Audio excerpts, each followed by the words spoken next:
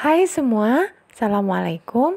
Setelah lebaran haji gini, biasanya ibu-ibu pada punya banyak stok daging sapi ya di rumah. Nah, kali ini yuk kita buat makanan favorit sejuta umat, bakso sapi ala rumahan.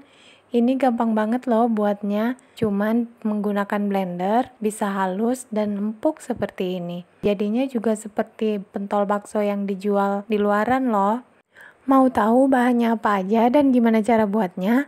Nonton terus video ini sampai selesai. Di sini aku sudah siapin bahan-bahan yang akan digunakan. Ada daging sapi yang sudah aku potong-potong dadu seperti ini biar nanti gampang gilingnya. Ada bawang merah goreng, bawang putih goreng, ada baking powder, ada air es, garam, tepung tapioka atau kanji, satu butir telur, dan lada bubuk. Sekarang kita lanjut ke cara buatnya. Masukkan satu sendok makan bawang merah goreng ke dalam chopper, satu sendok makan bawang putih goreng, satu butir telur, 2 sendok teh garam, setengah sendok teh baking powder, dan 1 sendok teh lada bubuk. Kemudian kita giling dulu sampai halus.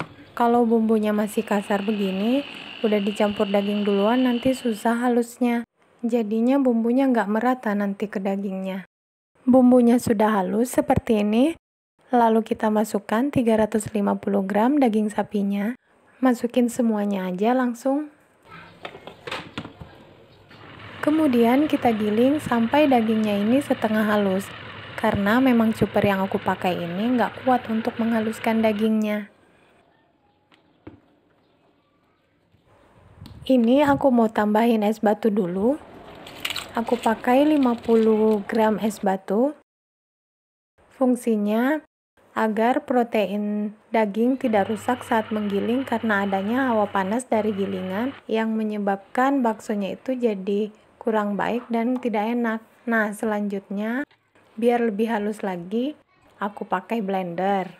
Biar blendernya nggak KO, jangan langsung di blender semua ya. Di sini aku bagi tiga adonan dagingnya, tiga kali di blender. Blendernya juga jangan diputar terus menerus. Giling sebentar, lalu matikan, kemudian giling lagi, matikan lagi, giling lagi, matikan lagi, sampai terlihat benar-benar halus dagingnya. Kalau menghaluskan daging menggunakan blender, ah, memang harus benar-benar sabar ya. Kalau sudah terlihat halus, keluarkan, kemudian lanjutkan menggiling sisa daging yang lainnya. Nah, ini udah halus semua dagingnya. Pindahinnya ke wadah yang agak besar ya, teman-teman. Selanjutnya, tambahkan 10 sendok makan tepung tapioka atau kanji atau beratnya 100 gram. Kemudian campur tepung tapioka dan adonan dagingnya hingga benar-benar tercampur dengan rata. Biar lebih enak kita pakai tangan aja ya.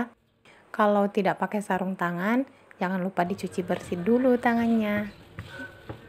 Nah, ini adonan dagingnya udah tercampur rata, udah bisa dibentuk ya.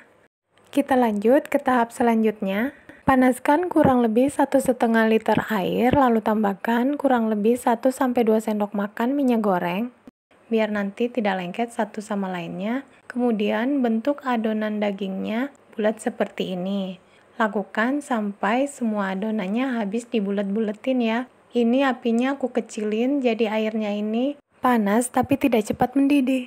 Setelah semua selesai, masak baksonya sampai semuanya terapung. Aku hitung waktunya mulai dari pertama kali mendidih, biarkan sampai terapung itu kurang lebih sekitar 20-30 menit. Nah, ini udah terapung semua dan udah matang. Kita keluarin dulu ya semua baksonya. Kuahnya mau dibumbuin dulu biar jadi kuah bakso. Untuk bumbu kuahnya aku pakai bawang putih goreng kurang lebih satu genggam dihancurin gini. Tambahkan setengah sendok teh lada bubuk, setengah sendok teh garam, dan setengah sendok teh penyedap rasa sapi dan tambahin juga irisan daun bawang. Untuk bumbunya ini disesuaikan dengan selera masing-masing ya. Ini kuahnya udah menyusut bisa ditambahin lagi kalau mau lebih banyak kita koreksi rasa dulu ini udah pas rasanya untuk penyajiannya nanti bisa ditambahin bawang goreng jeruk nipis saus, kecap, dan sambal. Sesuai selera aja. Nah, ini dia pentol baksonya udah jadi. Kita lihat dulu ya gimana serat dalamnya. Tuh, seratnya terlihat halus, baksonya juga kenyal dan enak, nggak kalah sama bakso yang dijual di luaran. Pentol baksonya ini kerasa banget dagingnya. Oke, sekian dulu video kali ini. Semoga kalian suka dan bermanfaat. Bagi teman-teman yang belum subscribe, jangan lupa di subscribe dan tekan tanda loncengnya ya. Jangan lupa juga like, tinggalkan komen, dan share-nya. Terima kasih. Sampai jumpa di video-video selanjutnya. Dah.